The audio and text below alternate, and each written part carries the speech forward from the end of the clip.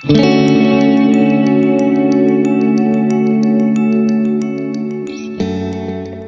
guys, welcome back to my channel and welcome to my weird life. So as you guys can tell, I dyed my hair and I absolutely love it. It's actually not finished, but I already love the product and also I'm sick. I can't breathe through my nose, can't breathe through my mouth really. So bear with me. Um, I will be filming two to three videos today. And so for two to three videos, you guys get to hear me sounding like a stopped up psychopath. but, um, so the first thing I want to talk about, and before making this video, I have announced this to most of my family. Um, I actually haven't talked to Adam's family yet, and that's just because I haven't seen them face to face since I found out, and it's not something that I really feel comfortable telling people over the phone. I did have to tell Adam over the phone. The original plan was to wait till he got home, but I just couldn't keep it from him. I feel like it was a very life-changing thing, and no, I'm not pregnant, guys. Um, this video is actually going to be a little bit different. It's kind of more of a serious and um, a little bit saddening of a tone.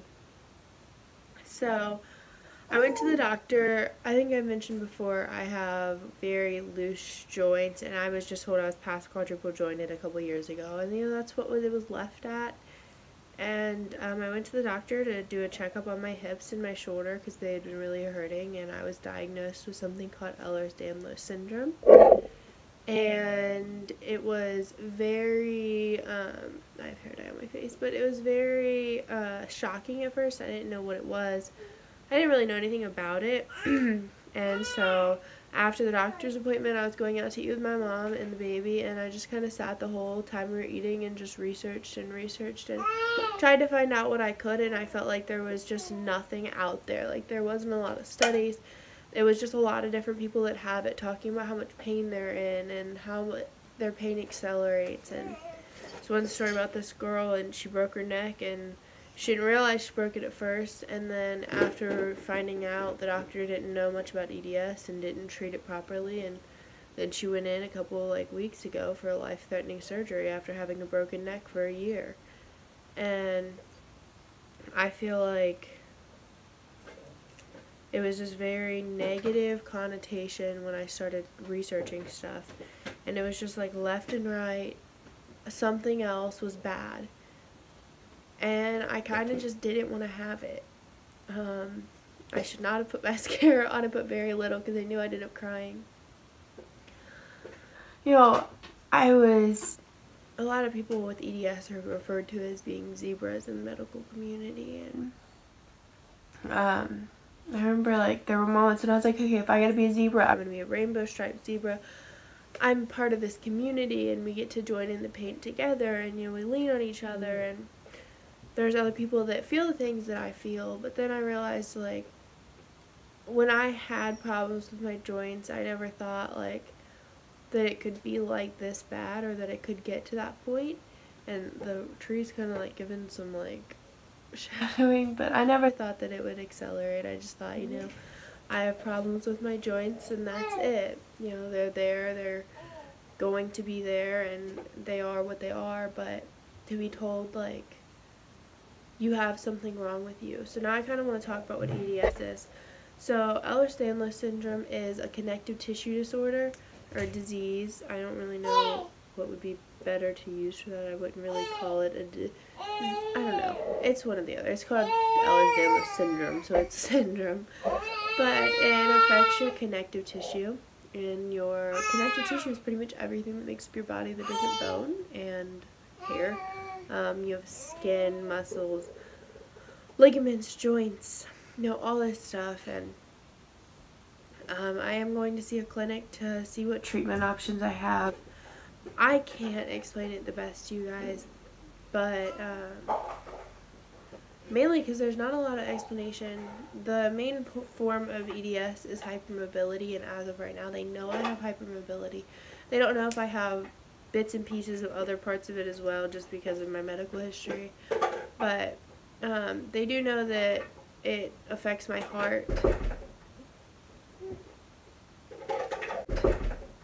The is that? That just scared the pee out of me, guys. You come with me and see what the heck just broke down my door? was UPS with a package. It's just, it's just banged on that door louder than anything in the world. I literally think I just peed my pants.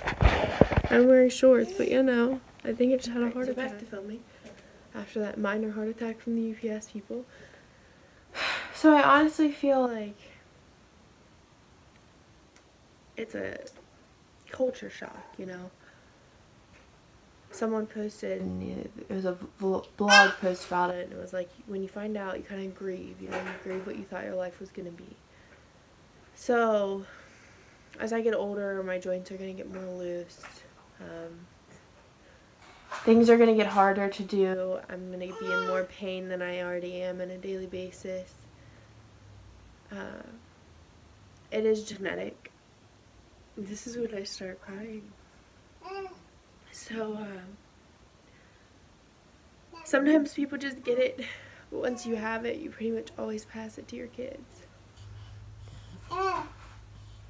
And so when Raylan's a little bit older, she'll have to be tested. But uh, she does have some indications already that she could have it. Um, she does tend to be pretty flexible. She'll stretch her legs really high. She likes to do that already at such a young age. She likes to stretch around and um, I hope she's just flexible.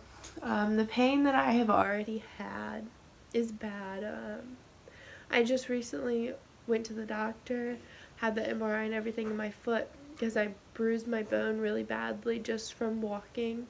I literally stepped from a curb to the grass about this much of a height difference and bruised my bone. I didn't twist it, I didn't fall, none of that. It just, it is what it is. And um, I've broken many bones, ripped things, torn things, stretched things, pulled things. And I just feel like to know that that's going to get worse Sorry, my dogs just broke out of the kitchen. To know that that's going to get worse and that there's nothing I can really do to stop it is very, oh my goodness. I love you guys. They're like, Mommy, don't cry. Mommy, don't cry. Oh my god. Okay, okay, okay. The Christmas tree's right there. Be careful to know that it's going to get worse is really hard for me. To know that the pain I feel is going to get worse is really hard for me. And I think that, Annie, I think that every day is going to be a new struggle. And every day is going to be a new journey. And I kind of go back and forth between accepting that I have it and wishing that I could unhave it, I guess. Um, you know,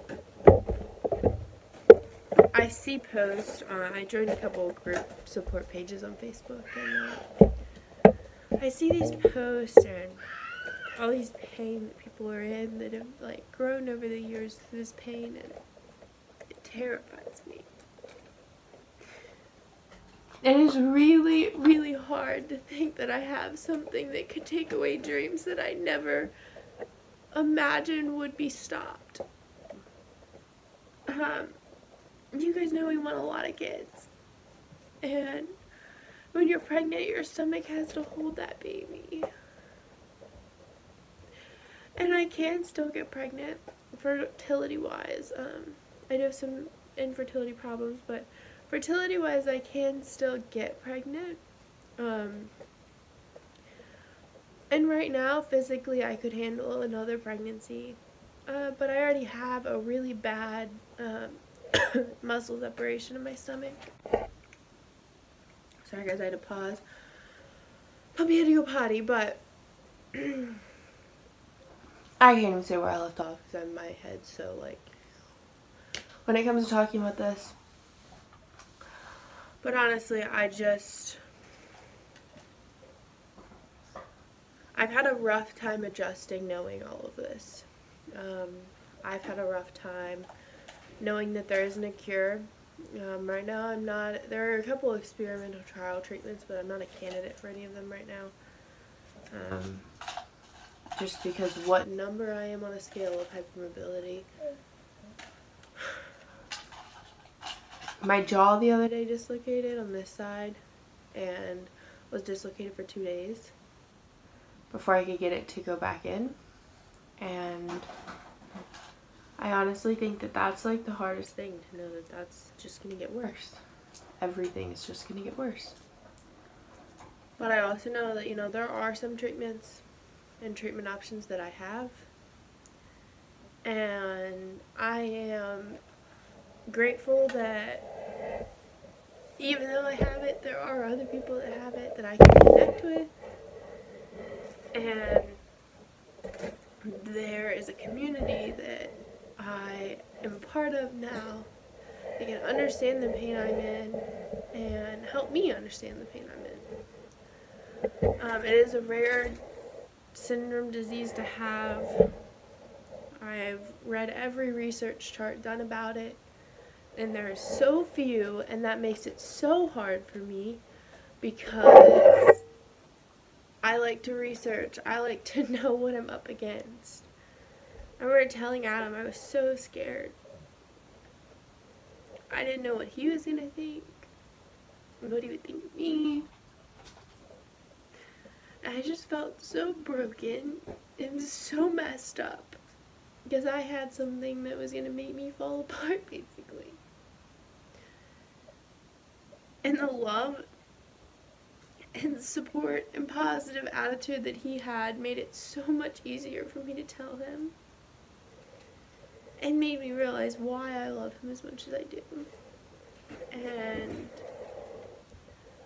I could never, ever have imagined that I had this. Um, but there are so many indentation signs that I do. Um, so many signs that so many doctors missed. So many things that it would have helped to know sooner things with my pregnancy with her, reasons why my heart acted up so bad when I was pregnant, reasons why I had seizures when I was pregnant. You know, everything that's happened in my life medically is now explained by this disease that everyone overlooked. And um, that's where the zebras come from. You know, we stomp and we might like sound like horses, but internally we're not um, different. And you know you can't see what's happening you can't see the pain i'm in you can't see what's causing the pain i'm in. And that's another thing. You know people believe in things because they want to because they're good because they trust them. I'm being forced to believe in something that i don't want to believe in that i can't see. And that's made me have issues accepting it i think i am getting a tattoo to represent my eds to help me cope with my eds and um, I am due to see a clinic about like treatment options in June of 2018. Um, that's the next time that I could get to see them, but right now it's just a lot of thinking about it, breathing, accepting it, trying to learn what I can. And so if you guys see changes in my lifestyle, I am definitely trying to make some. I think it's really hard. I still want to do everything that I did before because I feel like what has really changed, like although yes, I've been told that I have this I don't know how to change my life. You know, I'm not supposed to be lifting certain weights. I'm not supposed to be exercising. Not supposed to be working out. And so adjusting my lifestyle, I've always lifted heavy things. I've always been that person and that it's like, oh, I can do this. I've been physically in good health and strength as far as I knew and to know that I have to stop and slow down some I mean, I guess most people would think like that's comforting. I get to not do as much, but I actually really enjoy being able to lift things. I enjoy doing certain like physically challenging obstacles and to know I can't do that stuff is really hard for me. I was actually talking to people in that line at Black Friday at Target. They were telling me about this obstacle course for husband and wife and depending on how like some of them I'm still gonna do while I can do it and whether that's a bad attitude or not it's my choice um, if I can physically do it right now I want to do it before I can't do it anymore but um, the one they were talking about there was no way physically that I could do it and to know that like and they were recommending it for me and Adam to do, and I just, what were they supposed to say? Like, no, I, I can't. I have this debilitating disease, I couldn't say that because no one can see it. and I didn't want to explain it. And I mean, I go through moments when I kind of feel really like alone because although like I have this online support group, I don't personally know those people, and I haven't made any personal friendships with people that have EDS so far. Um, I recently found out that a friend of mine's sister's friend has it, and uh, I'm not really going to go into details about that, but I think that it's definitely hard, guys. Um, I will update you guys as I emotionally and physically progress through it. So if you guys see changes in my attitude, I don't want you to think that I'm depressed or that something else is going on. It's just, I just got diagnosed with something that I'm having, I'm just coping with, basically. You know, I am coping and grieving and dealing with it. And I also have a lot of other stressors in my life right now. Mainly just Adam not being home yet is really, really hard. You know, we're almost to Christmas, almost to baby's birthday. When I'm filming this, is actually she's 11 months old today. Um, I have to film her 11 month update, and It's just a little bit stressful to not have him home. And plus finding all of this out and having to tell him over the phone was really hard for me. so I hope you guys enjoyed this video. Um, I'm being very transparent by telling you guys this, and if you guys have questions, please leave them in the comments, or I do have an email that I always leave in the description that is just my regular email for this channel that you guys are more than welcome to email me at. Um, you can message me on here. Reach out. If you have EDS, please feel free to reach out. I'd love to talk to you. Um, I've known I have it for about a month now, and um, been a long month. So I love you guys. Make sure to comment, subscribe, like this video, turn on your notification bell so you know when I post something new, and I'll see you guys later.